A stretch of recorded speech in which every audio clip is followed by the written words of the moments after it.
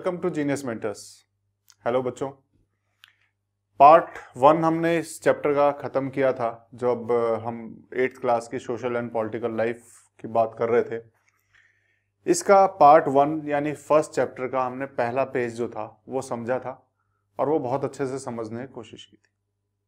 और इसी आशा के साथ कि आपको वो चीज़ अच्छे से समझ में आई होगी, हम उससे थोड़ा सा आगे चलेंगे आज के लेक्चर में। तो हम क्या पढ़ रहे थे? आपको पता है eighth class social and political life part three कौन सा? पहला चैप्टर पहले चैप्टर के अंदर दो हेडिंग मैंने बताई थी आपको। एक तो why does a country needs a constitution एक कंट्री को कॉन्स्टिट्यूशन की ज़रूरत क्यों पड़ती है? अब तक आपको समझ में आ गया होगा कि ये कॉन्स्टिट्यूशन है क्या। ये आपको समझ में आया होगा कि कॉन्स्टिट्यूशन है क्या। आज हम पढ़ेंगे, हमें कॉन्स्टिट्यूशन की ज़रूरत क्यों पड़ती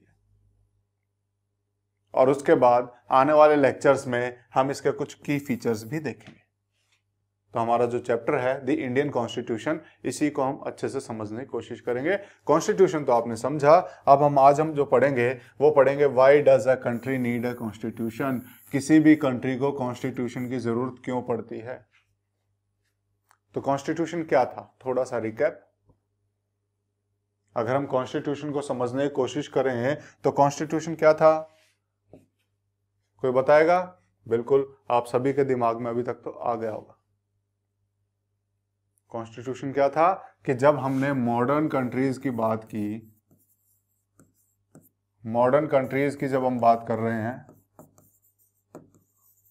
मॉडर्न कंट्रीज़ में क्या होता है? उनके कुछ कॉन्स्टिट्यूटिव रूल्स होंगे। बिल्कुल होंगे। हमने पढ़ा था कि हर सोसाइटी के कुछ कॉन्स्टिट्यूटिव रूल्स होते हैं तो इसके भी कॉन्स्टिट्यूटिव रूल्स होंगे।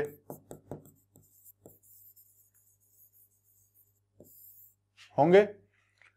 लेकिन जब हम मॉडर्न सोसाइटी की बात करते हैं, ये रूल्स वो लोग कंसेंसस से बनाते हैं, यानी आपसी सहमति से बनाएँगे, बिल्कुल बनाएँगे।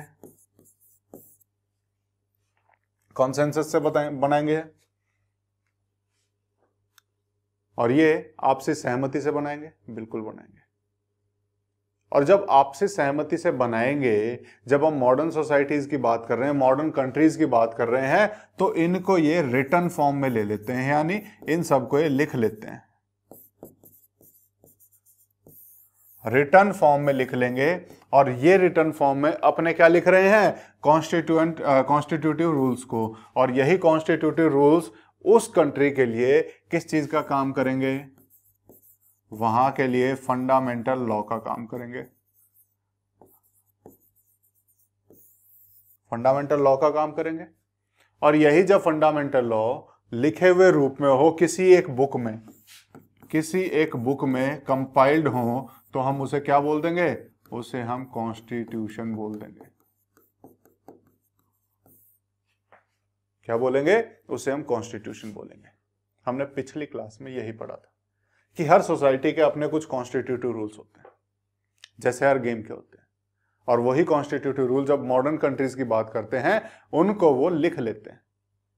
क्या लिखते हैं उसमें? अपने कॉन्स्टिट्यूटिव रूल्स यानी कि अपने फंडामेंटल रूल्स अपने फंडामेंटल रूल्स यानी कि एसेंशियल रूल्स जो ज़रूरी रूल्स है। और ये लिखे हुए जो फंडामेंटल रूल्स होते हैं, जब हमने एक बुक में इन सबको लिख लिया, उसको हम क्या बोलेंगे? कॉन्स्टिट्यूशन ये चीज़ आपको समझ में आएगी। इसी के साथ एक छोटा सा कॉन्सेप्ट जो हमारी बुक में नहीं है, उसको समझने की कोशिश करते हैं। ठीक है?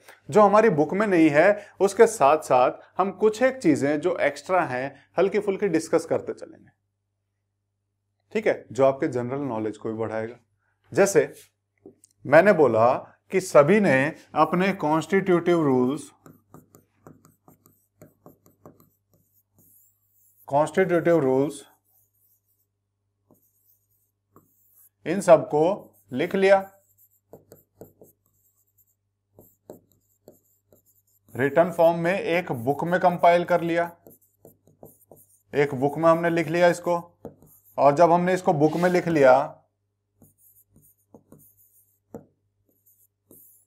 तो इसको हमने क्या बोला? कॉन्स्टिट्यूशन बोला। अब बच्चों, मेरा एक क्वेश्चन आपसे। क्या कोई ऐसी भी सोसाइटी हो सकती है जिसके अपने कोई रूल ना हो? एक छोटा सा क्वेश्चन है कि क्या ऐसी कोई सोसाइटी होगी जिसका कोई अपना रूल ना हो, अपने कॉन्स्टिट्यूटिव या फिर अपने बेसिक रूल ना हो फंडामेंटल रूल्स ना हो? तो आप भी सोच के बोलेंगे कि नहीं। ऐसा होना थोड़ी सी पॉसिबिलिटी कम दिखाई देती है। कि इस तरह की पॉसिबिलिटी हमें बहुत कम दिखाई देती है कि कोई ऐसी सोसाइटी हो जिसमें उसके खुद के कॉन्स्टिट्यूटिव रूल्स ना हो। किन्हें किन्हीं किन्हें भी रूल की वजह से वो आपस में तो बंधे होंगे। तो उन रूल्स को हम वहाँ के कॉन्स्टिट्यूटिव रूल्स बोल सकते हैं। ये तो ज़रूरी है कि वहाँ पे कॉन्स्टिट्यूटिव रूल्स होंगे। किसी भी सोसाइटी के एग्जिस्ट करने के लिए वहाँ के कुछ रूल होने बहुत ज़रूरी हैं। तभी तो हम पता कर पाएँगे कि ये ये सोसाइटी है। उस सोसाइटी की पहचान कैसे होगी, उसके रूल से होगी। तो हर सोसाइटी में ये रूल्स होना बहुत ज़रूरी है। लेकिन हर सोसाइटी में ये ज़रूरी नहीं है कि वो रिटर्न फॉर्म में हो। हर सोसाइटी में ये ज़रूरी नहीं है कि वो रिटर्न फॉर्म में हो। जैसा हमने पिछले उसमें डिस्कस किया था कि जब बड़ी सोसाइटी आती है तो वो लिख लेती है, लेकिन छोटी सोसाइटीज में नहीं लिखते हैं। मॉडर्न कंट्रीज़ में लिख लेते हैं। लेकिन आज भी बहुत सारी कंट्रीज़ ऐसी हैं जहाँ पे उन्होंने अपने कॉन्स्टिट्यूशन को नहीं लिखा है। कॉन्स्टिट्यूशन को नहीं लिखा है। नहीं लिखा है का इसका मतलब यह नहीं होता है कि वहाँ पे कोई रूल है ही नहीं, जैसा अभी हमने समझा। रूल हैं, लिखे हुए हैं कि नहीं लिखे हुए हैं, इस पर डिपेंड करता है। जैसे, ब्रिटिश या फिर ब्रिटेन की अगर हम बात करें तो ब्रिटेन में, ब्रिटेन की अगर मैं बात करूँ तो ब्रिटेन में क्या हो रखा है? ब्रिटेन ने अपनी कोई ऐसी बुक बनाई ही नहीं, ऐसी कोई भी बुक बनाई नहीं, जिसमें उन्होंने अपने रूल लिखे हों। ऐसी कोई बुक बनाई नहीं। तो क्या हम कह सकते हैं वहाँ पे कॉन्स्टिट्यूशन रिटर्न है? तो हम कहेंगे नहीं। जब मैं कॉन्स्टिट्यूशन की बात करता हूँ तो कॉन्स्टिट्यूशन कंपाइल्ड है किन्हीं भी लॉज का। जो उसके सोसाइटी के जो लॉज हैं, उनको कंपाइल करके हमने एक बुक फॉर्म में रख दिया। एक बुक की फॉर्म में रख दिया तो कॉन्स्टिट्यूशन हो गया। कौन सा? रिटर्न कॉन्स्टिट्यूशन हो गया। लेकिन अगर हम उसे कंपाइल नहीं कर पाए रूल तो हैं सोसाइटी के, लेकिन कंपाइल नहीं किए तो हम उसे बोलेंगे नॉन रिटर्न कॉन्स्टिट्यूशन क्या बोलेंगे? नॉन रिटर्न कॉन्स्टिट्यूशन क्लियर है? तो ये कभी मत समझना कि जहाँ पे नॉन रिटर्न कॉन्स्टिट्यूशन है, वहाँ कोई रूल ही नहीं है। रूल हैं, बस उन्हें एक बुक में नहीं लिखा गया, एक बुक में कंपाइल नहीं किया गया है। क्लियर है? इतनी चीज़ समझना, इसी चीज़ को थोड़ा सा और एक्सप्लेन करूँगा जब हम आज का चैप्टर इसको करेंगे। आज के चैप्टर को हम करेंगे। इतनी चीज़ें आपको दिमाग में रखनी। ठीक है? तो ये आपको समझ में आया होगा कि कॉन्स्टिट्यूशन दो टाइप के हो सकते हैं रिटर्न नॉन रिटर्न रिटर्न है नॉन रिटर्न लिखा हुआ है? नहीं लिखा हुआ। रिटर्न है अनरिटर्न है। कोई बात नहीं। लेकिन दोनों टाइप के हो सकते हैं। लेकिन ऐसी कोई सोसाइटी नहीं हो सकती है जहाँ पर रूल ही ना हो। रूल होते हैं, ठीक है? ये दो चीज़ें आपको ध्यान रखनी है। तो सबसे पहली बात कि किसी भी कंट्री को कॉन्स्टिट्यूशन की ज़रूरत क्यों पड़ती है? किसी भी कंट्री को कॉन्स्टिट्यूशन की ज़रूरत क्यों पड़ती है? इसके बहुत रीजन है। दो तीन रीजन है जो हमारी बुक में दिए हुए हैं। उनको हम एक एक करके समझेंगे। और फिर बाद में जब हम समरी करेंगे, आज ये पूरा नहीं हो पाएगा कि हम पूरी इसको समझ लें कि किस लिए हमें ज़रूरत है, हम इसके कुछ पोर्शन को समझने की कोशिश करेंगे आज। इसके कुछ पोर्शन को हम समझने की कोशिश करेंगे, कम से कम दो पॉइंट तो हम इसके समझेंगे। ठीक है? तो जितना हम समझ पाएँगे, आज की क्लास में उतना समझेंगे, नहीं तो फिर आगे वाली क्लास में, आने वाली नेक्स्ट क्लास होगी, उसमें आगे, बाकी जो बचा हो उसको समझने की कोशिश करेंगे। तो आज देखते हैं क्या क्या हम समझ सकते हैं इसमें से कि हमारा क्वेश्चन आपको दिमाग में रखना है कि आज हम किस लिए पढ़ रहे हैं इस चैप्टर को। आपको दिमाग में एक ही क्वेश्चन होना चाहिए कि हमें किसी भी कंट्री में कॉन्स्टिट्यूशन की ज़रूरत क्यों पड़ती है? इस क्वेश्चन को दिमाग में रखो और यही क्वेश्चन आपको हर पेज पे मैंने लिख भी दिया है। आपको इस साइड में क्वेश्चन लिखा हुआ मिलेगा, जहाँ पे भी आप भूल जाएँ कि हम क्या पढ़ रहे हैं। मैंने हर पेज पे इस साइड में लिखा हुआ है। ठीक है? यहाँ पे यहाँ लिखा है तो यहाँ नहीं लिखा है। ठीक है? तो इसलिए ध्यान रखना। थोड़ा सा बैकग्राउंड किसी भी कंट्री को कॉन्स्टिट्यूशन क्यों ज़रूरत पड़ती है? उससे पहले, जैसा हमारी बुक ने बताया तो हमारी बुक के हिसाब से चलते हैं कि हमारा जो कॉन्स्टिट्यूएंट लिखा कॉन्स्टिट्यूशन लिखा था, वो किसने लिखा था? क्वेश्चन आता है कि लिखा। कॉन्स्टिट्यूशन लिखो। कौन? कौन लिखेगा कॉन्स्टिट्यूशन तो उसको लिखने के लिए एक कॉन्स्टिट्यूएंट असेंबली बनती है। क्या बनती है? कॉन्स्टिट्यूएंट असेंबली तो कॉन्स्टिट्यूएंट असेंबली का काम क्या होता है? कॉन्स्टिट्यूशन को लिखना। तो क्या बनी? कॉन्स्टिट्यूएंट असेंबली बनी।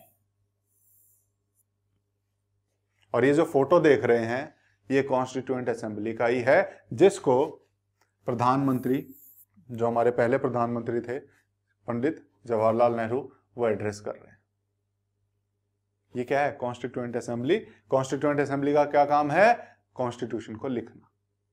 अब जब मैंने बोला कि कई जगह पे कॉन्स्टिट्यूशन लिखा गया है, कहीं नहीं लिखा गया तो जहाँ लिखा गया है तो क्या वहाँ पे कॉन्स्टिट्यूएंट असेंबली बनी होगी? तो बिल्कुल बनी होगी, क्योंकि कॉन्स्टिट्यूशन को लिखने का काम कौन करता है? ये कॉन्स्टिट्यूएंट असेंबली करती है तो जहाँ पे भी लिखा गया है, वहाँ कॉन्स्टिट्यूएंट असेंबली नहीं बनी, वो बनी होगी। और जहाँ नहीं लिखा गया है तो आप बड़े आराम से कह सकते हो कि वहाँ कॉन्स्टिट्यूएंट असेंबली बनी ही नहीं होगी, इसलिए वहाँ लिखा नहीं गया क्लियर है? इसीलिए मैंने बोला था उस पॉइंट को हम थोड़ा सा आगे इलेबोरेट करेंगे। ये चीज़ समझ में कॉन्स्टिट्यूएंट असेंबली का काम क्या होता है? लिखने का। तो हमने कल लास्ट में क्वेश्चन पे छोड़ा था कि कौन लिखता है कॉन्स्टिट्यूशन तो आपको आज समझ में आया होगा कि कॉन्स्टिट्यूएंट असेंबली बनती है। कॉन्स्टिट्यूएंट असेंबली में बहुत सारे मेंबर होते हैं। जो बैठ के डिसाइड करते हैं कि हमें उसमें क्या क्या लिखना है। वो क्या डिसाइड कर रहे हैं कि हमारी सोसाइटी के रूल्स क्या हैं। उसके हिसाब से हम एक कॉमन रूल बनाएँगे। तो ये सारे बैठ के डिस्कस करेंगे कि हमारी सोसाइटी को ये चाहिए तो ये ये वाला रूल डालेंगे। हमारी सोसाइटी की ये इच्छा है तो हम ये ये वाला रूल डालेंगे। तो सोसाइटी के रूल्स को ध्यान में रखते हुए और हमारी नीड को, हमारी कंट्री की नीड को ध्यान में रखते हुए हम क्या बनाते हैं? कॉन्स्टिट्यूशन बनाते हैं। और कौन बनाएगा? कौन लिखेगा? तो कॉन्स्टिट्यूएंट असेंबली लिखेगी। क्लियर है? इतना बैकग्राउंड आपको पता होना चाहिए। अब हम इसको पढ़ते हैं। इतनी चीज़ें पता है, अब हम इसे पढ़ेंगे। ठीक है? इसे पढ़ने की कोशिश करते हैं। तो इन 1934 कब की बात चल रही है? 1934 1934 में क्या था? क्या भारत आज़ाद था उस टाइम पे? नहीं। भारत कब आज़ाद हुआ? ये डेट तो आपको याद होगी। 15 अगस्त उन्नीस सौ 15 अगस्त 1947 ठीक है? तो 1934 उस टाइम पे भारत आज़ाद नहीं था। तो यहाँ पे कौन राज कर रहा था? ब्रिटिशर्स थे। ब्रिटिशर्स थे जो इंडिया के ऊपर राज कर रहे थे। इंडिया एक कॉलोनी थी उस टाइम पे। है ना? तो इतना चीज़ें आपको पता होनी चाहिए। अब 1934 की जब हम बात कर रहे हैं, जब हमारे ऊपर किसका राज था? ब्रिटिशर्स का राज था। ब्रिटिशर्स के राज था, उस टाइम पे क्या हुआ? National Congress, Indian National Congress, ये उस टाइम पे पॉलिटिकल पार्टी होती थी। जो सबसे बड़ी पॉलिटिकल पार्टी इंडिया की तरफ़ से जो थी, इंडियन नेशनल कांग्रेस। तो इंडियन नेशनल कांग्रेस ने क्या किया 1934 में? इन्होंने बोला दे मेड डिमांड फॉर उन्होंने डिमांड की। किस चीज़ की? कॉन्स्टिट्यूएंट असेंबली की। अब National Congress Indian National Congress क्यों डिमांड करेगी कॉन्स्टिट्यूएंट असेंबली की? अभी हमने जाना कि कॉन्स्टिट्यूएंट असेंबली क्यों चाहिए। यानी इनकी डिमांड क्या थी कि हम अपना कॉन्स्टिट्यूशन अपने लिए लिखेंगे। तो उन्होंने क्या डिमांड किया? लिखने के लिए उन्होंने डिमांड की किस चीज़ की? कॉन्स्टिट्यूएंट असेंबली की। किससे डिमांड करेंगे? ब्रिटिशर से। समझ में आया? क्यों डिमांड की? क्योंकि कॉन्स्टिट्यूशन को लिखने का काम कौन करेगा? ये कॉन्स्टिट्यूएंट असेंबली करेगी। ये कॉन्स्टिट्यूएंट असेंबली करेगी। तो कब से शुरुआत हुई इसकी डिमांड की? 1934 में सबसे पहली बार कांग्रेस ने बोला कि हमें कॉन्स्टिट्यूशन कॉन्स्टिट्यूएंट असेंबली चाहिए। हमारे ऊपर राज करें ब्रिटिशर्स लेकिन हमने जाके बोल दिया कि हमें तो कॉन्स्टिट्यूएंट असेंबली चाहिए, हमें अपना संविधान चाहिए, हम तुम्हारे रूल्स के हिसाब से क्यों चले? हमारी सोसाइटी की नीड कुछ और है। इंडिया की सोसाइटी की नीड कुछ और है, इंडिया की सोसाइटी के आदर्श आइडियल्स कुछ और हैं। तो हम इंडिया की सोसाइटी के हिसाब से कॉन्स्टिट्यूशन बनाएँगे इंडिया का, और उसको बनाने के लिए हमें चाहिए कॉन्स्टिट्यूएंट असेंबली। तो ये क्या किया? इंडियन नेशनल कांग्रेस ने डिमांड रखी कॉन्स्टिट्यूएंट असेंबली की कब? During second world war. कब रखी? 1934 में, और उसके बाद अगर हम पढ़ते हैं during second world war second world war के दौरान। क्या होगा? उसके बाद आपको पता है सेकेंड वर्ल्ड वॉर 1938-39 के आसपास, आप आपका सेकेंड वर्ल्ड वॉर शुरू हुआ तो क्या हुआ? सेकेंड वर्ल्ड वॉर के टाइम पे। क्या होगा? During second world war this assertion for an independent constituent assembly ये जो एसर्शन उनका था एसर्शन क्या होता है? एसर्शन को ध्यान रखना कि फोर्सफुली फोर्सफुली अपनी बात को मनवाना। फोर्सफुली किसी बात को कहना। फोर्सफुली किसी भी बात को कहना। बल देके किसी भी बात को कहना होता है एसर्शन तो इन्होंने वर्ल्ड वार के दौरान इन्होंने देखा अच्छा ब्रिटेन वाले तो लड़ाई में बिज़ी हो गए हैं। तब इस टाइम पे इन्होंने भी बोला कि ठीक है, अब हम और ज़्यादा ज़ोर दे देते हैं इसके डिमांड पे। किसके डिमांड पे? कॉन्स्टिट्यूएंट असेंबली की। तो इन्होंने 1934 में जो डिमांड रखी थी वर्ल्ड वॉर शुरू होने के बाद इन्होंने और ज़ोर देके उसी बात को बोला कि हमें इंडिपेंडेंट कॉन्स्टिट्यूएंट असेंबली दो। बनाने दो। और यहाँ पे इंडिपेंडेंट वर्ड का बड़ा इंपॉर्टेंस है। इंडिपेंडेंट कॉन्स्टिट्यूएंट असेंबली यानी कि हम, हमारे लोग मिलके एक कॉन्स्टिट्यूएंट असेंबली बनाएँगे और वो इंडिपेंडेंटली काम करेगी। तुम्हारा इसमें कोई इंटरफेरेंस नहीं होगा। तुम लोग इसमें डिस्टर्ब नहीं करोगे। हम अपनी सोसाइटी के लिए, अपने हिसाब से, अपनी सोसाइटी के हिसाब से रूल बनाएँगे। तो इन्होंने सेकेंड वर्ल्ड वॉर में उसकी डिमांड की, जो कि बनी होगी सिर्फ़ और सिर्फ़ इंडियन से। और इसी डिमांड को अगर हम देखें, इसी डिमांड ने क्या लिखा हुआ है? गेंड मोमेंटम इसी इसी डिमांड ने क्या किया? गति पकड़ी स्पीड पकड़ी कि हाँ भाई हम और ज़्यादा जल्दी जल्दी बोलने लग गए कि अब हमें ये कॉन्स्टिट्यूंट असेंबली चाहिए चाहिए चाहिए। ठीक है? हमने और ज़्यादा फोर्सफुली इस डिमांड को रखना शुरू कर दिया। कि हमें कॉन्स्टिट्यूएंट असेंबली चाहिए। और अगर हम देखें तो उनकी वो जो रिक्वेस्ट थी, उनकी जो वो डिमांड थी, वो डिमांड कब जाके पूरी हुई? हमें वो डिमांड कब जाके पूरी हुई दिखाई देती है? दिसंबर 1946 में जब हम देखें नवंबर 1946 में हमारी कॉन्स्टिट्यूएंट असेंबली बन गई थी, उसकी जो पहली मीटिंग होती है, वो मीटिंग होती है दिसंबर 1946 में। ये डेट भी आपको पता होनी चाहिए। हमारी जो कॉन्स्टिट्यूएंट असेंबली जो है, इसकी जो पहली मीटिंग हुई थी, वो हुई थी 9 दिसंबर 1946 को 9 दिसंबर 1946 को। 9 दिसंबर 1946 को इनकी पहली मीटिंग हुई है। और ये मीटिंग कब तक चली है? जब तक इन्होंने लास्ट में कॉन्स्टिट्यूशन को साइन नहीं कर दिया, बना के कॉन्स्टिट्यूशन को साइन किया। कब साइन हुआ है कॉन्स्टिट्यूशन कॉन्स्टिट्यूशन हमारा साइन हुआ ट्वेंटी फोर्थ जनवरी 1950 इस दिन सभी ने इस पे को, इसके ऊपर साइन कर दिया। 9 जनवरी से जो कहानी शुरू हुई 24 24 जनवरी 1950 पे जाके खत्म हुई। हमारे कॉन्स्टिट्यूशन को बनने में कितना टाइम लगा? तो ये टाइम भी आपको पता होना चाहिए, हमें लगे दो साल। 11 महीने 18 दिन। ये हमें इसको बनने में लगा। ठीक है? इतनी चीज़ें हमें इस किताब से अलावा पता होनी चाहिए। ठीक है? यहाँ चलते हैं अभी। तो कन्वीन का मतलब क्या होता है? कन्वीन मतलब किसी को भी आयोजित कराना। ठीक है? किसी भी अगर हम कहें मीटिंग को आयोजित करवाना। मीटिंग रखवाना, बैठक बुलाना, मीटिंग करवाना, वो होता है कन्वीन। तो ये हमारी जो कॉन्स्टिट्यूएंट असेंबली थी, इसकी फ़र्स्ट मीटिंग कब हुई? दिसंबर 1946 में। और इसका पेज आप देख सकते हैं। कॉन्स्टिट्यूएंट असेंबली का यहाँ पे आपको दिखाई दे रहा है। दिसंबर 1946 से नवंबर 1949 तक इन्होंने एक, अगर हम कहें ड्राफ्ट कॉन्स्टिट्यूशन प्रिपेयर किया था इंडिपेंडेंट इंडिया के लिए। ड्राफ्ट कॉन्स्टिट्यूशन कब? नौ, अगर हम देखें नवंबर 1949 तक इन्होंने एक ड्राफ्ट कॉन्स्टिट्यूशन प्रिपेयर कर लिया था और उसी को भी हमने फाइनल करके फिर हमने साइन कर दिया जनवरी 1950 में। ठीक है? एक 26 नवंबर 1949 का भी इसमें बड़ा अहमियत है। वो जब टाइम आएगा, हम उसके बारे में भी डिस्कस करेंगे।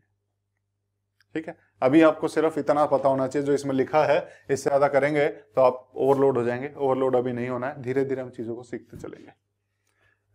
इंडिपेंडेंट इंडिया के लिए कॉन्स्टिट्यूशन का ड्राफ्ट रख दिया उन्होंने। ठीक है? Free to shape their destiny at last after 150 years of British rule. The members यहाँ तक पढ़ते हैं पहले free to shape their destiny at last after 150 years of British rule. अब फ्री थे कॉन्स्टिट्यूएंट जब हमारा कॉन्स्टिट्यूशन लिखा गया इसका मतलब क्या है अब हम अपनी किस्मत खुद लिख सकते थे कब डेढ़ सौ साल के ब्रिटिश राज के बाद अब इंडिया अपनी किस्मत खुद बनाने वाला था अपने सोसाइटी के अपने रूल्स खुद बनाने वाला था और उस रूल्स कॉन्स्टिट्यूशन में लिखने वाला था। तो यहाँ पे हम आज़ाद हुए इन रूल्स को एक कॉन्स्टिट्यूशन में डालने के लिए after 150 years of British rule the members of constituent assembly approach this task with great idealism जो मेंबर्स थे कॉन्स्टिट्यूएंट असेंबली के, उन्होंने इस टास्क को पूरा किया विद ग्रेट आइडियलिज्म क्या होता है आइडियलिज्म आदर्शवाद के साथ। बड़े आदर्शों के साथ हमारे इस कॉन्स्टिट्यूशन को पूरा किया गया। क्या आदर्श थे? उसको हमारे फीचर्स में हमें अलग से दिखाई देंगे। जब हम फीचर्स पढ़ेंगे तो हमें पता लगेगा कि हमारी कॉन्स्टिट्यूएंट असेंबली के क्या आदर्श थे, क्या आइडियल्स थे। जिसको लेके वो चले और हमारे कॉन्स्टिट्यूशन में वो क्या क्या फीचर डाले, उनको हम पढ़ेंगे आने वाले लेक्चर्स में, आने वाले हम देखेंगे इसी चैप्टर में, आने वाले लेक्चर्स में। That the freedom struggle had help produce ये आदर्श उन्हें मिले कहाँ से? उन्होंने सीखा ब्रिटिशर्स के अंडर रह के कि हमारी सोसाइटी को क्या चाहिए? एक आज़ाद सोसाइटी कैसे अच्छी रह पाएगी? जो इतने सालों से ब्रिटिशर्स के अंडर रहे, दुख झेलते रहे, उन्हें अब आज़ादी में क्या क्या चाहिए? ताकि फिर से कोई और आके फिर से गुलाम ना बना पाए। एक आदमी आज़ादी के साथ जी सके।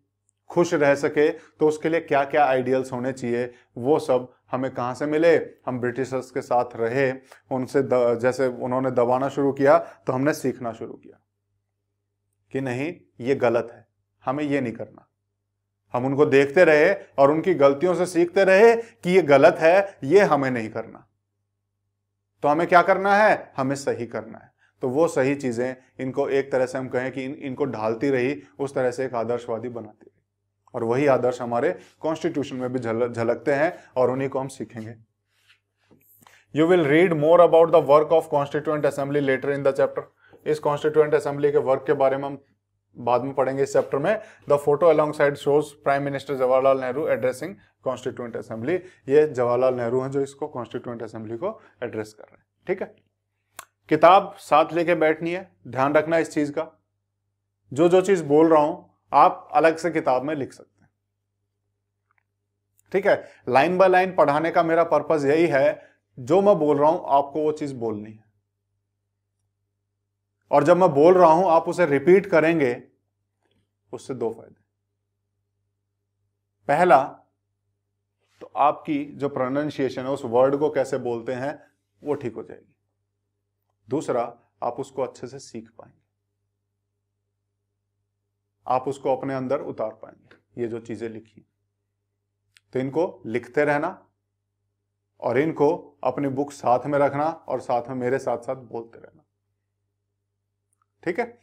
तो इसी हिसाब से हम आगे चलते हैं। ये आपको समझ में आया कि इस फ़ोटो का क्या रीजन था और ये हमें हमारी कॉन्स्टिट्यूशन के बारे में बताया कि किसने लिखा?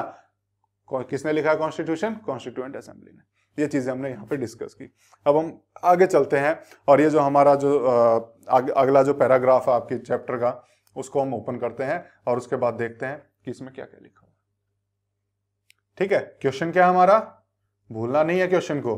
क्वेश्चन हमारा रहेगा why does a country needs a constitution किसी भी कंट्री को कॉन्स्टिट्यूशन क्यों चाहिए? ये क्वेश्चन है और ये क्वेश्चन आपको अगले लेक्चर तक परेशान करेगा। इस क्वेश्चन को भूलना नहीं है। कुछ पोर्शन इसका हम आज करेंगे, कुछ पोर्शन नेक्स्ट लेक्चर में करेंगे। और ये आपको परेशान करता रहेगा। ठीक है? नेक्स्ट लेक्चर तक। लेकिन जब हमारा ये चैप्टर खत्म हो जाएगा, तब आपको इस क्वेश्चन का जवाब अपने आप मिल जाएगा। कि हमें क्यों चाहिए? वो सारे रीजंस आपके सामने होंगे और आप इसका जवाब मेरे बताने से पहले खुद दे पाएँगे।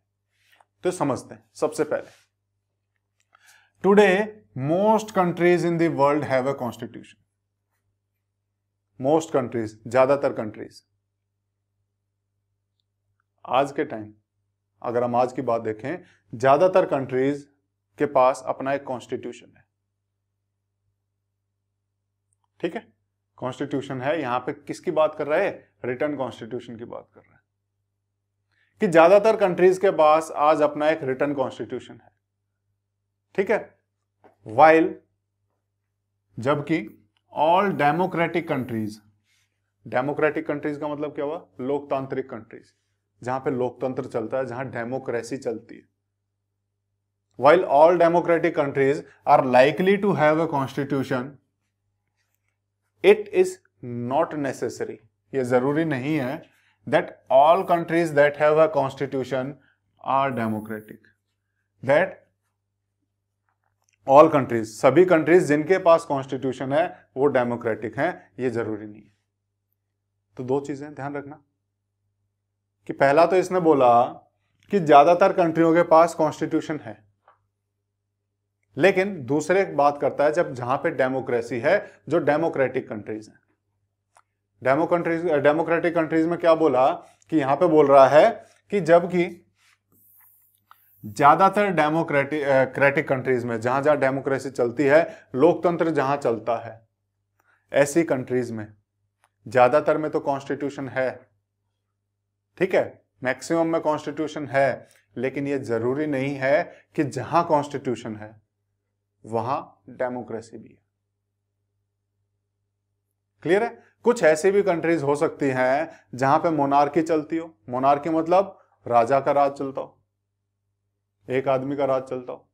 कॉन्स्टिट्यूशन वहाँ भी हो सकता है। रिटर्न कॉन्स्टिट्यूशन वहाँ भी हो सकता है। ज़रूरी नहीं है किसी डेमोक्रेसी में ही एक कॉन्स्टिट्यूशन हो।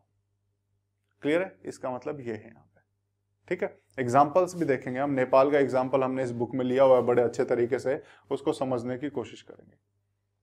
नेपाल जो पहले मोनार्की था, तब भी उसके पास कॉन्स्टिट्यूशन था। बाद में डेमोक्रेसी में कन्वर्ट हुआ, तब भी उसके पास कॉन्स्टिट्यूशन है। ठीक है? तो वो दोनों एग्ज़ाम्पल इसके हम देखने वाले हैं। तो इसके, इसको हम यहाँ से आगे पढ़ते हैं।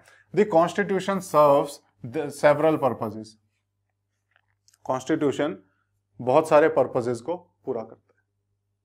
ठीक है? सर्व्स मतलब काम पूरा करना है, पूरा करना।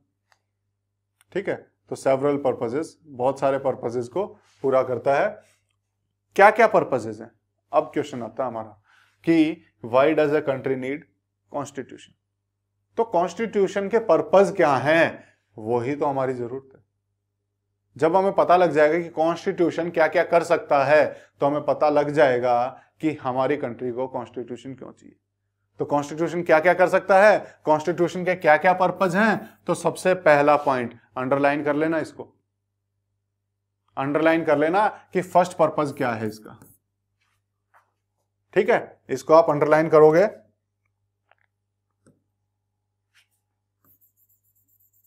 इसका फ़र्स्ट पर्पज आप अंडरलाइन कर लेना और ये आपको पता होना चाहिए। फ़र्स्ट पर्पज क्या है? It lays out certain ideals कि ये वहाँ के आदर्शों को इसमें लिख, अपने अंदर समेटे हुए। आदर्श, सोसाइटी के क्या आदर्श हैं? हमने शुरुआत यहीं से की थी। अगर आपको ध्यान हो कि किसी सोसाइटी के रूल्स कहाँ पता लगेंगे? हर सोसाइटी के अलग अलग होते हैं, सोसाइटी चेंज होती है, रूल चेंज हो जाते हैं।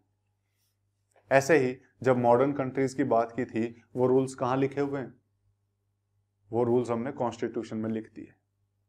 वो रूल्स हैं क्या बेसिकली? वो रूल्स हमें सोसाइटी के बारे में बताते हैं कि वो सोसाइटी कैसी है। वो सोसाइटी के आइडियल्स के बारे में बताते हैं, सोसाइटी के आदर्शों के बारे में बताते हैं कि वो सोसाइटी कैसी है।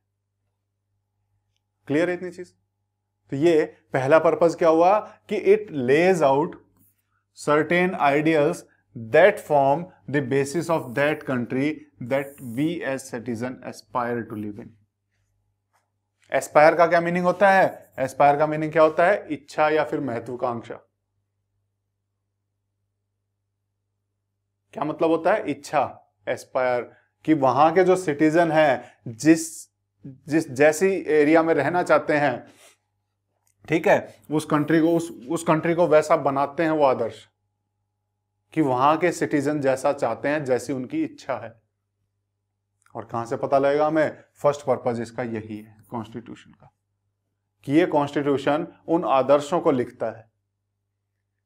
जिन आदर्शों की कल्पना, जिन आदर्शों की महत्वाकांक्षा, जिन आदर्शों की इच्छा, वहाँ के सिटीजन करते हैं कि हमारा कंट्री ऐसा होना चाहिए। हमारा कंट्री ऐसा होना चाहिए और हम ऐसे कंट्री में रहेंगे तो ये सोसाइटी के रूल्स हैं। मैंने आपको समझाया था कि ये सोसाइटी के रूल्स ही होते हैं जो हमने कॉन्स्टिट्यूशन में लिख दिए हैं। ये यहाँ के लोगों की इच्छाएँ होती हैं जो हमने कॉन्स्टिट्यूशन में लिख दी हैं। तो कॉन्स्टिट्यूशन पढ़ के क्या मैं बता सकता हूँ कि सोसाइटी की क्या क्या इच्छाएँ हैं? सोसाइटी की क्या क्या नीड्स हैं? बिल्कुल बता सकता हूँ। सोसाइटी के क्या क्या आदर्श हैं, क्या आइडियल्स हैं? मैं बता सकता हूँ? बिल्कुल बता सकता हूँ। तो पहला पर्पज तो कॉन्स्टिट्यूशन का यही है। क्या है? पहला पर्पज तो यही है कि ये सोसाइटी के आइडियल्स को बताता है कि वो क्या आइडियल्स हैं, वो क्या आदर्श हैं। जो वहाँ के सिटीजन्स चाहते हैं। कि उस कंट्री में क्या क्या होना चाहिए, कैसे रूल्स होना चाहिए। क्लियर है चीज़? बिल्कुल, आपको समझ में आई होगी। या इसी को दूसरे तरीके से देखें, और पुट अनदर वे दूसरे तरीके से देखें constitution tells tells us what the fundamental nature of our society is अगर मुझे सोसाइटी के ये पता लग जाए कि ये सारे आइडियल्स हैं सोसाइटी में ये सब चाहिए। किसी सोसाइटी में बोले हमें डेमोक्रेसी चाहिए। सोसाइटी बोलती है हमें राइट टू इक्वालिटी चाहिए। ठीक है? ये उसके आदर्श हैं कि हमको सबको बराबरी से देखना है। ठीक है? तो ये सोसाइटी के आइडियल्स हैं जो हमें कॉन्स्टिट्यूशन से पता लग रहे हैं तो क्या मैं ये नहीं कह सकता कि मुझे सोसाइटी का फंडामेंटल नेचर पता लग रहा है? एसेंशियल नेचर जो बेसिक नेचर है, वो पता लग जा रहा है कि यहाँ की सोसाइटी कैसी होगी। बिल्कुल पता लग जाएगा। तो हम इसको दो बातों दो तरीके से कह सकते हैं। पहला कि तो ये ये जो इसका पर्पज है कॉन्स्टिट्यूशन का कि पहला तो ये दिखाता है कि जो सो, सो, इसके कंट्री के जो सिटीजन्स हैं उनके आइडियल्स क्या हैं? उनके आदर्श क्या है? पहला तो ये बता दिया। दूसरा दूसरा ये बताता है कि उस सोसाइटी का फंडामेंटल नेचर क्या है? फंडामेंटल नेचर क्या है? फंडामेंटल यानी कि बेसिक नेचर क्या है? ठीक है? जिसको हिंदी में मौलिक भी बोलते हैं। मौलिक, मूल, बेसिक। ठीक है? तो बेसिक नेचर क्या है? वो भी हमारा सोसाइटी का क्या है? ये हमें कॉन्स्टिट्यूशन से पता लगता है। उसके आगे a country is usually made up of different communities एक कंट्री जो है, ज़्यादा मतलब अगर हम देखें जनरली क्या होती है? अलग अलग कम्युनिटीज को मिलकर बनी होती है। एक कंट्री में ठीक है? एक कंट्री में आपको बहुत सारी कम्युनिटीज दिख जाती हैं दिख जाती हैं। Of people who share certain may not necessarily agree, uh, necessarily agree on all issues. अलग अलग कम्युनिटी के पीपल से मिलकर बनी होती है कंट्री वहाँ के लोग आपस में एक दूसरे के साथ कुछ बिलीव्स जो है शेयर करते हो मतलब एक कॉमन फीचर हो कि हाँ ये होना चाहिए। ज़रूरी नहीं है कि सारे रूल से सारे एग्री हो। कुछ एक पे एग्री हो जाएँगे कुछ एक पे हो सकता है ना हो।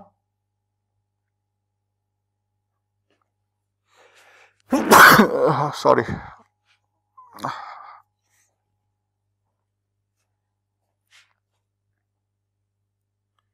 कुछ एक पे तो एग्री हो जाएँगे कुछ एक पे हो सकता है ना हो एग्री तो हम कह सकते हैं सिटीजन्स सिटीजन्स जो भी हमारे रूल्स हैं।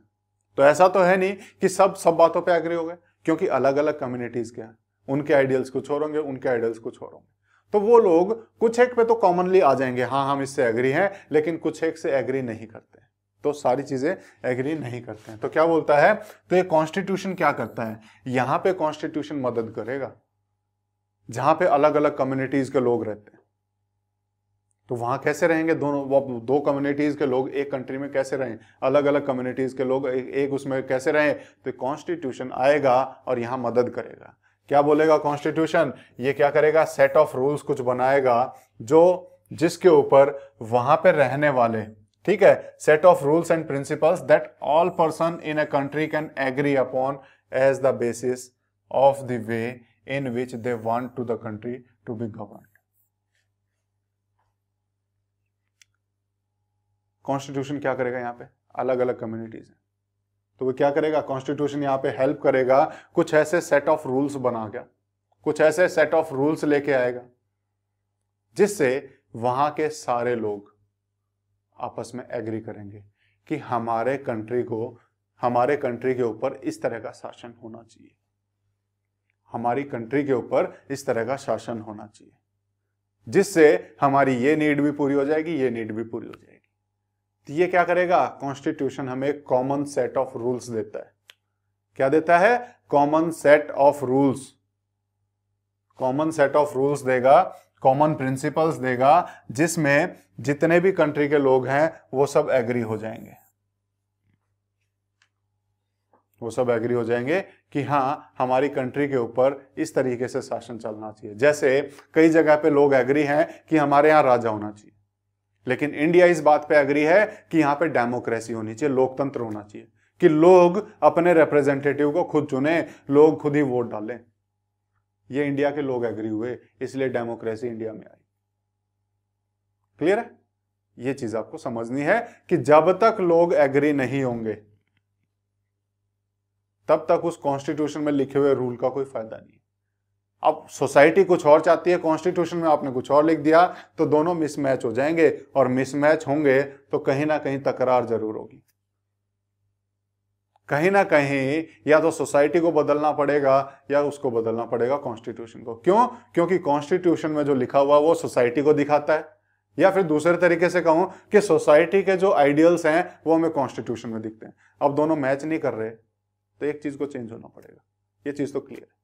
ठीक है? तो इसलिए कॉन्स्टिट्यूशन क्या बताता है? वहाँ के आइडियल्स बताता है। पहला पर्पज है इसका ठीक है? उसी चीज़ को इसने एक्सप्लेन किया हुआ है। तो इसमें this include not only the type of government but also an agreement to certain ideals that a believe the country should uphold तो ये बोल रहा है कि जब कंट्री के अलग अलग कम्युनिटीज के लोग आपस में आएँगे, किन्हीं सेट ऑफ़ रूल्स पे कॉमनली वो एग्री करेंगे कि हाँ ये होना चाहिए। तो उसके अंदर दो चीज़ें हैं। पहला कि टाइप ऑफ़ गवर्नमेंट कि गवर्नमेंट कैसी होनी चाहिए। दूसरा, सिर्फ़ गवर्नमेंट ही नहीं, उसके अलावा और क्या क्या अगर हम कहें कि वो आदर्श क्या होंगे, वो आइडियल्स क्या होंगे, जिसके हिसाब से सोसाइटी चलनी चाहिए। समझे?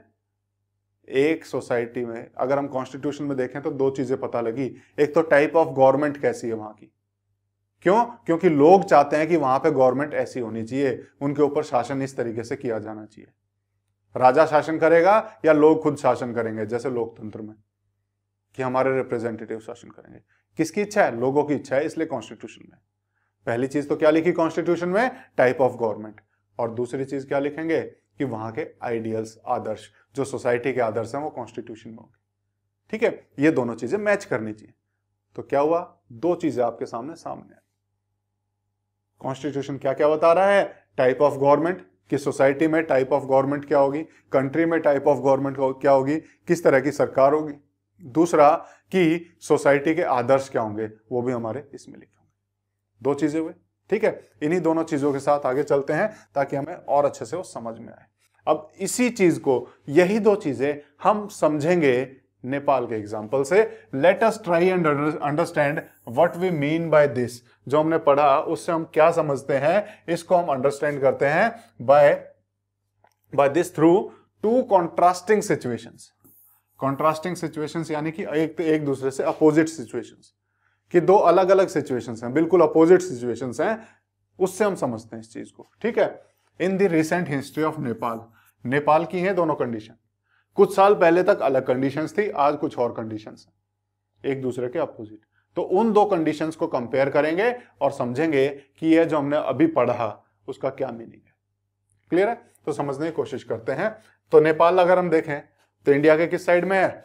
नॉर्थ साइड में। मैप देखेंगे, ये हमारा लास्ट क्वेश्चन भी हमारी शायद इस एक्सरसाइज का। इस चैप्टर की जो एक्सरसाइज है, उसका लास्ट क्वेश्चन ये भी है कि नेपाल के चारों तरफ़ इंडिया के कौन कौन से स्टेट है।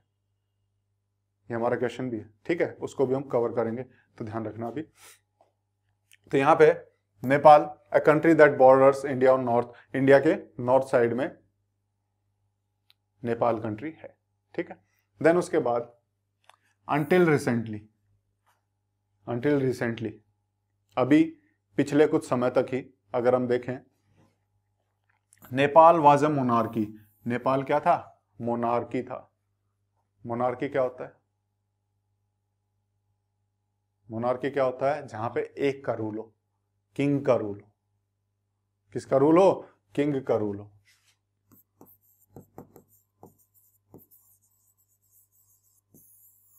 इसको हम बोलते हैं मोनार्की। ठीक है? अपने पास लिखते रहना, नोट्स बनाते रहना। मोनार्की।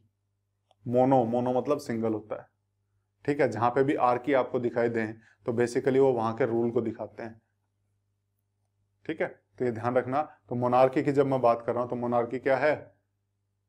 किंग रूल है, या फिर सिंगल एक बंदे का रूल है, ठीक है? तो पहले अभी रिसेंटली तक अगर हम देखें तो नेपाल में क्या था? किंग का, यानी कि राजा का शासन चलता था। किसका? राजा का शासन चलता था। Previous constitution of Nepal which had been adopted in 1990 1990 में उन्होंने जो कॉन्स्टिट्यूशन एडॉप्ट किया था, किन्होंने? नेपाल वालों ने। जो कॉन्स्टिट्यूशन एडॉप्ट किया था reflected the fact that final authority rested with the king तो ये हमें कहाँ से पता लगा? मोनार्की है, वहाँ के कॉन्स्टिट्यूशन से। उन्होंने कब एडॉप्ट किया? 1990 में। क्या लिखा? कि जो फाइनल अथॉरिटी वो किंग के पास है। यानी किसका शासन है? राजा का।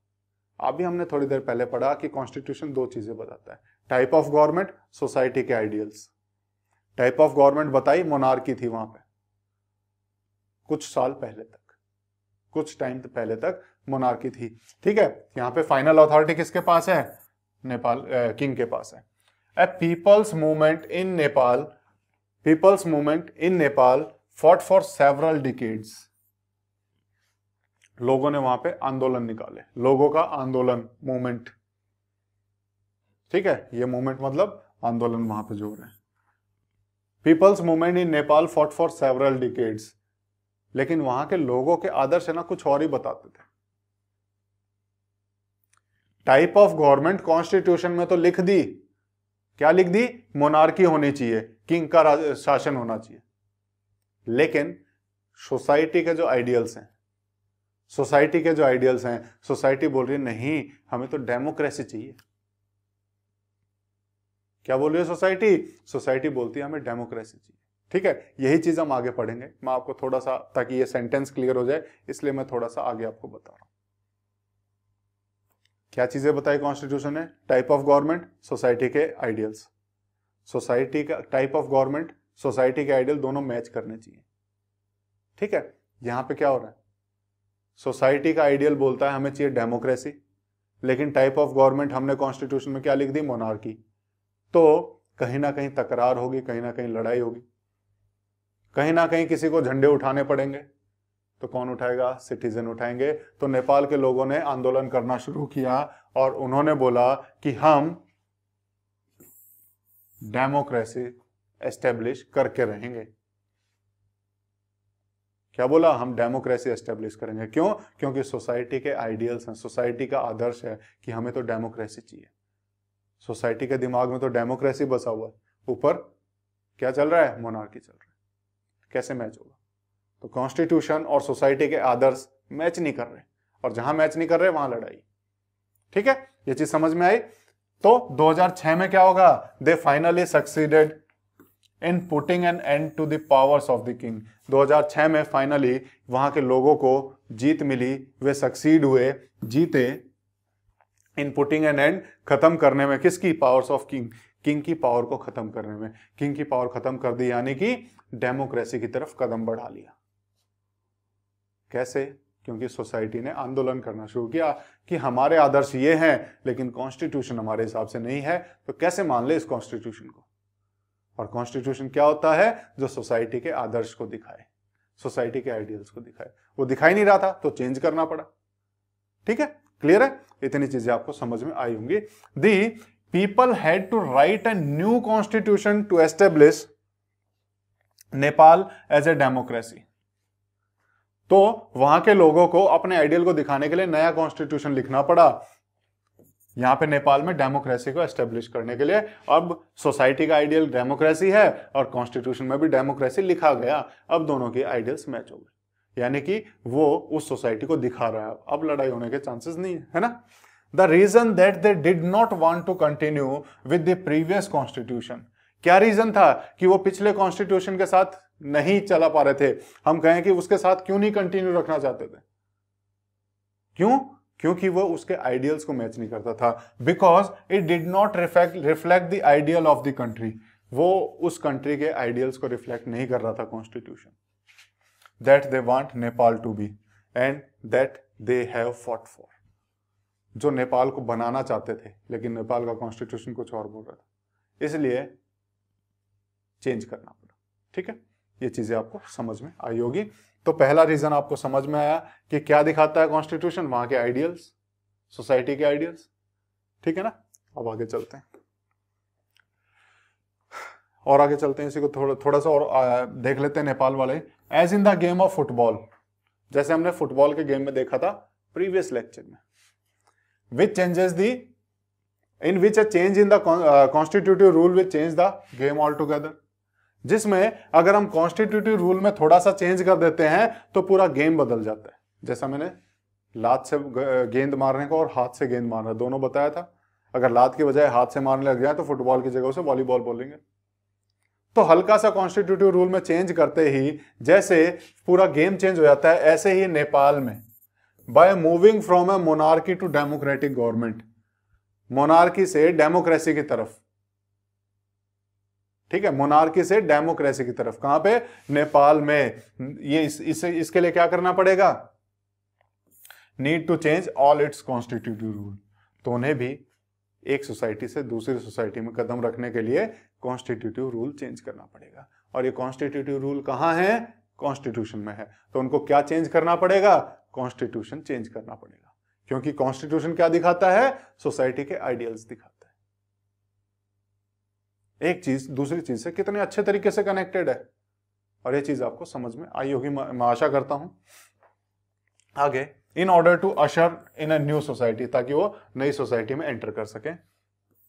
उसकी तरफ़ रास्ता देख सकें ठीक है? This is why the people of Nepal adopted an new constitution इसी रीजन से ने, जो ने, नेपाल के जो पीपल हैं नेपाल के जो लोग हैं उन्होंने नया कॉन्स्टिट्यूशन अडॉप्ट किया फॉर द कंट्री इन 2015 2015 में फाइनली नया कॉन्स्टिट्यूशन उनका बन के तैयार हुआ और उन्होंने वो अडेप्ट किया जिसमें उन्होंने डेमोक्रेसी को अपना लिया। क्यों? क्योंकि सोसाइटी के आइडियल डेमोक्रेसी बोल रहे थे। तो कॉन्स्टिट्यूशन को भी, यानी कि कॉन्स्टिट्यूटिव रूल को भी चेंज होना पड़ेगा। सोसाइटी के नीड्स के लिए। ठीक है? तो हम कह सकते हैं। तो the caption alongside elaborate Nepal struggle for democracy caption मतलब जो साइड में फ़ोटो लगा हुआ है, आपकी बुक में साइड में होगा, मेरे मेरे उसमें नेक्स्ट पेज पे, ठीक है? तो आप अपनी बुक में साइड में फ़ोटो देखो नेपाल के कुछ मूवमेंट्स के जो उन्होंने आंदोलन किया, उसका जो फ़ोटो है, वो आपको दिखाई देगा, कैसे यहाँ पे लोग सड़कों पर उतर आए हैं कि हमें तो चाहिए डेमोक्रेसी लेके रहेंगे डेमोक्रेसी है ना? क्योंकि इनको तो डेमोक्रेसी चाहिए। ऊपर मुनारकी है ऐसे देखो कैसे ये पूरे मतलब भीड़ लगा के रोडों पे उतर आए हैं। नहीं, हमें तो चाहिए डेमोक्रेसी। हम तो डेमोक्रेसी है, हमारा आइडियल डेमोक्रेसी है, और इसी की ही कहानी यहाँ पे लिखी हुई है। यही नेपाल की कहानी जो हमने समझी, यहाँ पे भी लिखी हुई है। जैसे अगर हम देखें, इसको थोड़ा सा जल्दी हम देख लेते हैं। ठीक है? हालाँकि इसको हम थोड़ा सा एक्सप्लेन कर चुके हैं। अभी थोड़ा जल्दी जल्दी से देख लेते हैं।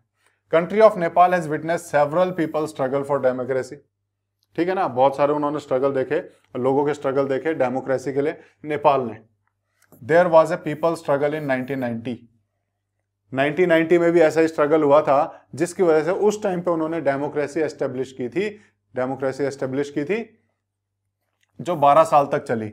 12 साल तक चली, लेकिन 2002 में अगर हम देखें तो 2001 या 2 के आसपास अगर आप नेपाल की हिस्ट्री पढ़ने की कोशिश करें, वहाँ पे मासेकर हुआ था। मासेकर यानी कि सामूहिक हत्या, हत्याकांड जिसे हम कह सकते हैं। बहुत सारे लोगों को मारा गया था, जिसमें किंग, वहाँ का जो नेपाल के किंग थे, उसे भी मार दिया गया था। उसके परिवार वालों को भी मार दिया गया था। 2001-2 के आसपास। तो उस टाइम पे, उसकी जगह पे जो किंग बने, किंग ज्ञानेन्द्र किंग ज्ञानेन्द्र अगर हम देखें तो इन्होंने क्या किया? इन्होंने बोला कि यहाँ पे माओइस्ट बहुत ज़्यादा आ गए हैं। कौन आ गए हैं? माओइस्ट बहुत ज़्यादा हो गए हैं। और इसकी वजह से क्या बोल रहे हैं? हमें थोड़ा सा चेंज करना पड़ेगा। अब सरकार से पावर छीन के राजा के हाथ में आनी चाहिए। यानी कि ये क्या करेगा? मोनार्की एस्टेब्लिश करने की कोशिश करेगा। राजा क्या करेगा? मोनार्की एस्टेब्लिश एस्टेब्लिश करने की कोशिश करेगा यहाँ पे, लेकिन वहाँ के लोगों को तो डेमोक्रेसी चाहिए। ये मोनार्की की तरफ़ जा रहा है, लोग डेमोक्रेसी की तरफ़ जा रहे हैं। तो लोग क्या करेंगे? फिर से सड़कों पे आ जाएँगे। लोग क्या करेंगे? अगर हम देखें मतलब ये अगर हम देखें तो किंग ने फाइनली 2005 तक मोनार्की एस्टेब्लिश कर दी, लेकिन उसके बाद लोगों को पसंद आएगा नहीं। तो लोग क्या करेंगे? नवंबर में अगर हम देखें तो माओइस्ट ने वहाँ के लोगों के साथ और पार्टी के साथ मिलके उन्होंने क्या किया? एक 12 पॉइंट एग्रीमेंट लेके आए।